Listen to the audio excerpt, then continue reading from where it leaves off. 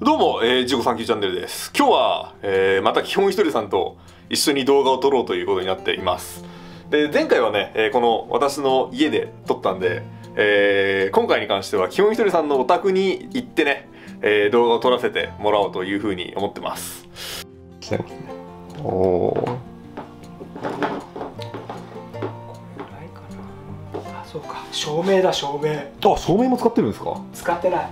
あ照明照明もあるこれ。でもまあですねまあでも僕も使ってないですし別に普通の明かりでいいっちゃいいですよね。いつやっもぱりいつもと違うと緊張するね。なんだろうねこの緊張感。やばいよ。いつもどどれぐらいのタイミングでやっぱ撮る直前に何話すか決めてる感じですか？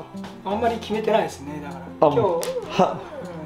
うん。で伝えたいことがいっぱいある場合はあの箇条書きというか、はい。しといてこうメモでピッピッピッって話するけどそれやると緊張するんですよね。あダメだねやっぱりね。ー本番ぶっつフけて。リートークフリートークは苦手です。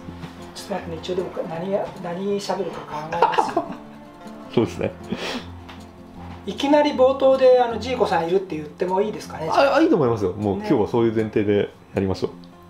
そうだねじゃあ。あ1回目ちょっとテストのつもりでわかりました回します。はいではい、えー基本一人です、えーいつもありがとうございます。えー今日はね、えーカレーをまた作ります。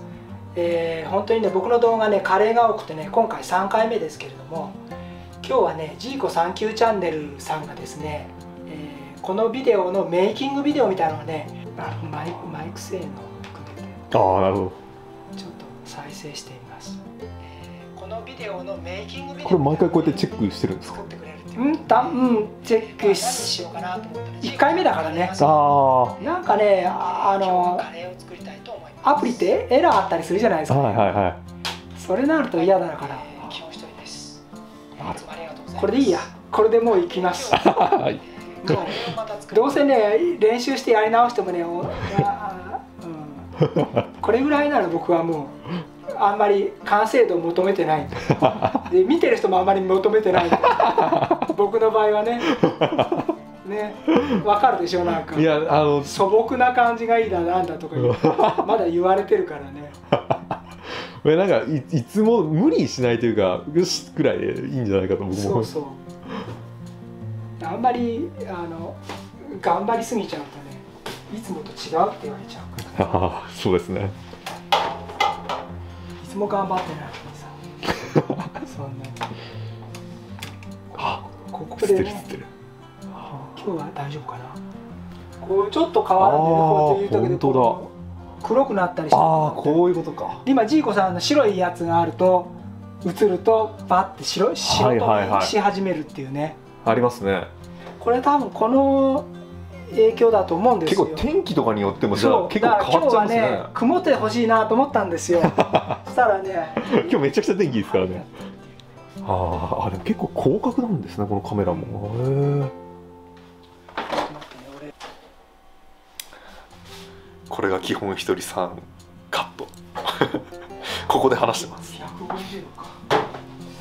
はい、えー材料ですけどもね、えー前回ねあのトマト、えーホールトマト入れましたけども今回ねちょっとね YouTube でですねあのカレーの作り方美味しいカレーの作り方っていうのをねちょっとね紹介してるビデオがありましてこういうねあのなんかじゃがいもって芽とかあるじゃないですか、はいはい。こういうのもと一応取らないといけないと思うとねピーラーだと取れにくいし。ああピーラーのこのなんですか？耳みたいなところでこうガッて掘ったら取れますよ。あ本当？こういうとこで？あ違う。耳？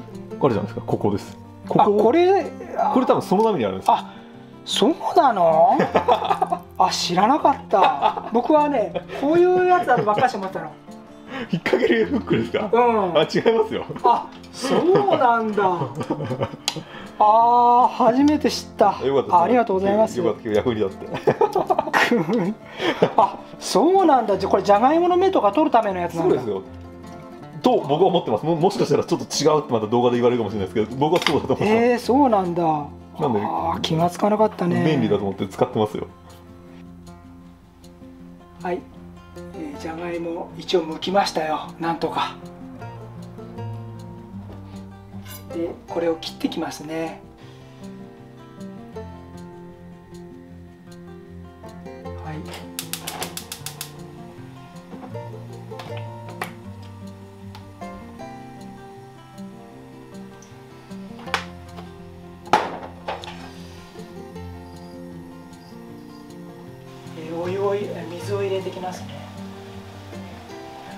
入れここで入れすぎちゃうと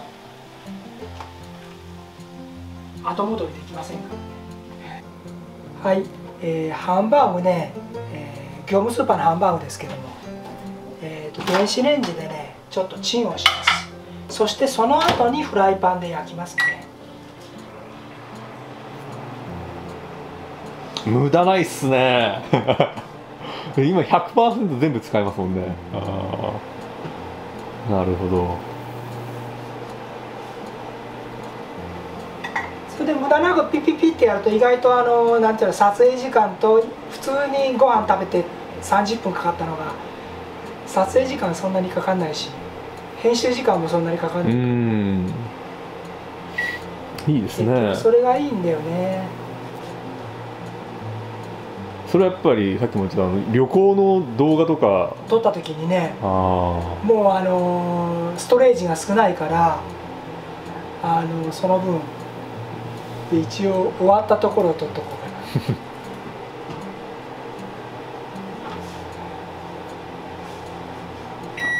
はい。終わりましたね。まあいいやこのまま置いておこう。カレーができた後に焼きますね。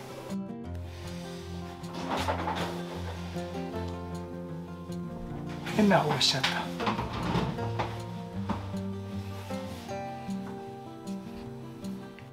まあ、といった形で、えー基本ひとりさんの動画撮影の風景を撮らせてもらいました。これはね、まあ私も動画を撮ることがあるのでわかるんですけど、かなりね、珍しい、えー動画の撮り方だというふうに思います。というのは、えーまあ、使っている機材なんですが、えーまあ、使っているあのスマートフォン、えー主なメインカメラは、確かね、3万円くらいって言ったかな ?3 万円くらいのスマートフォンメインカメラ、えそれに付属しているこう、マイク、接続するマイクが800円って言ったかな？あとはダイソーで買った、え三脚500円。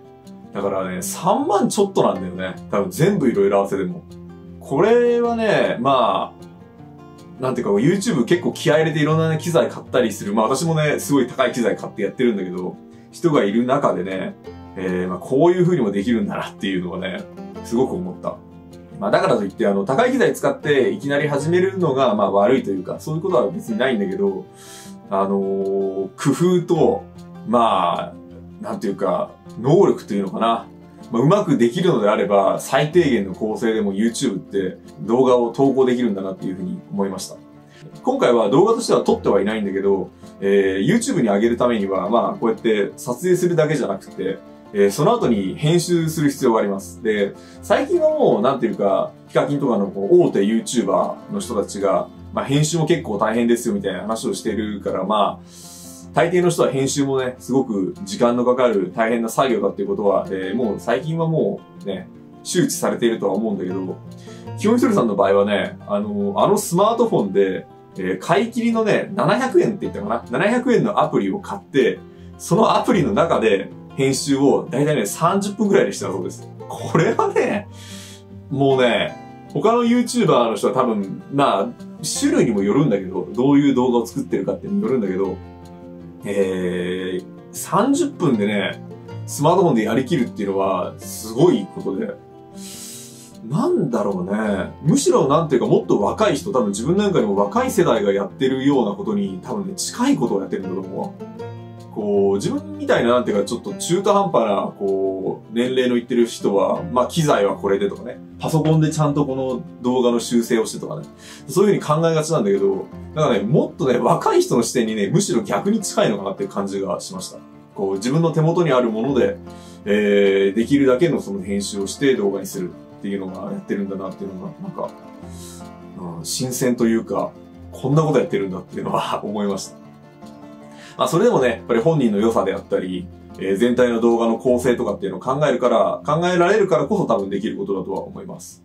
で、もう一個ね、さらにこれめちゃくちゃ驚いたのが、あのーインターネットの回線がないと YouTube って動画上げられないのはまあわかるとは思うんですけど、えー、京一人さんのね、なんとね、インターネット回線はね、あのポケット Wi-Fi を使ってるって言ってました。こう、持ち歩きのね、ポケット Wi-Fi ってね、しかもね、速度が出ないんだよね。だから、あのお昼とか、あの人がたくさん使ってる時間とか、あと夜の6時以降とかは、インターネットが繋がりにくくなるから、あのそうじゃない時間を狙って動画を上げてますって話を聞いて、もうね、びっくりしたよ。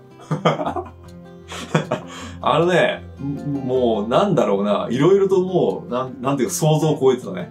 まあ、まあその点に関しては、あの光回線をね、これから、えー、つなげてね、えー、回線を良くするっていう風に、まあ今実際にちょっと、なんていうか、まあ困ってるとは言わない、困ってるとまではいかないけど、不便を感じてるってことなんで、そういう風な話をしてましたけど、最低限必要なものだけで、えー、動画を撮ってやってるんだなっていう風に思いました。いや、でもあれですごく続けられてるな。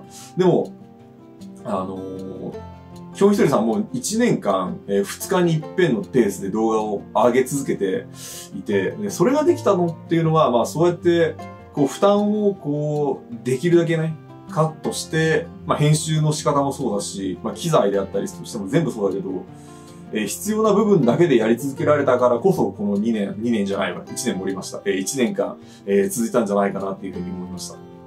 まあ、今回、まあ自分以外の人がね、YouTube どうやって撮ってるかって身近に見てね、私もね、すごくね、勉強にもなったし、刺激になったんで、まあ、これからまあカメラのね、えー置き方であったり、撮り方であったり、あとは、まあ、編集に向けての動画の撮影の仕方、まあ、ちゃんと必要な部分だけ撮ったりっていうのは、まあもうちょっと構成考えてやったらいい、できたらいいかなとかっていうふうには思いました。